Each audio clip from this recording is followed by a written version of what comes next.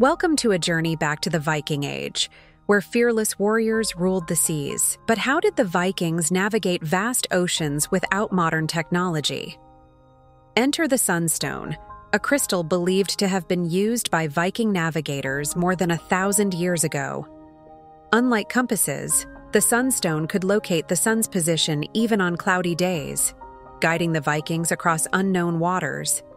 Historians suggest the Sunstone was made of calcite, cordierite, or tourmaline, minerals known for their unique optical properties. According to ancient texts, the Vikings could see the sun through these crystals, using its light to steer their longships. The discovery of a sunstone in a shipwreck off the Channel Islands in 2013 provided the first physical evidence of its existence. Imagine the Vikings navigating towards new lands, relying solely on the sunstone's power and the stars above.